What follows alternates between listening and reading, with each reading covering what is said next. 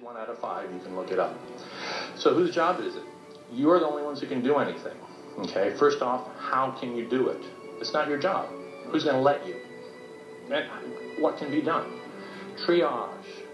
You can find out what the numbers are. For our students, quarter million students, real numbers. It's called anonymous polling. If it cost a million dollars, I could ask you for a million dollars and you'd be all impressed and give it to me. It involves a penny. You flip a penny. You ask the students. You tell them. If it's heads, you say yes. If it's tails, you answer the question.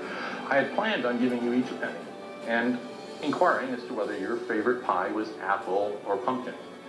It's a bit complicated because you can't answer, so I'm going to skip ahead.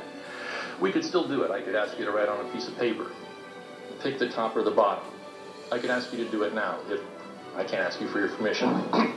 But let's say you were to write on a piece of paper. I'd say, okay, pick one. You'd pick the top or the bottom. I'd say, okay, call the top heads, bottoms, tails. Have you, now, if it were children, I can phrase this much more carefully. Three minutes, it's the end of the day. It could be phrased as, you know, and you will spend hours deliberating this. Believe me, the question can be phrased. Has anything happened that you were uncomfortable, that you felt trapped and you couldn't share with an adult? It could be that simple, and you can have an answer that will not uh, upset parents, it won't upset the kids.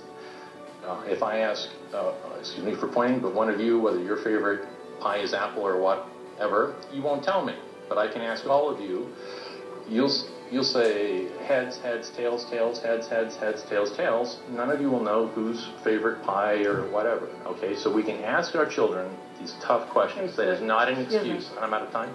Yes, wrap up, please. That, to wrap up, please consider, and perhaps we should have a discussion. We could have a meeting, board meetings, uh, talk with you people, whatever is necessary. One thing I was very encouraged, you are all so motivated, and we're all talking about money. Please don't think about any of these things. It's not an issue of money. It is an issue of acknowledging that there's a problem and then worrying about it. If a child is on fire, and that's what we're talking about, this is literal abuse and they're on fire now, not next month, not last month, it's not someone else's kids. As we're speaking, out of a quarter of a million kids, uh, students, 50 are, are newly being abused as we're speaking, and they're on fire in pain.